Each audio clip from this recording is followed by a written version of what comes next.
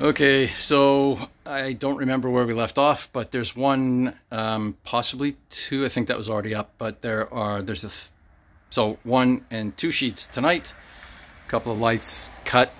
Um, the place is actually getting brighter as I put the lights up because the light is shining straight down as opposed to at a wall, for instance, um, like uh, that one. And it's oh, it's turned off. Anyway, it's getting brighter little patchwork here. I went from 10 foot sheets here and here and here to eight foot sheets here and here.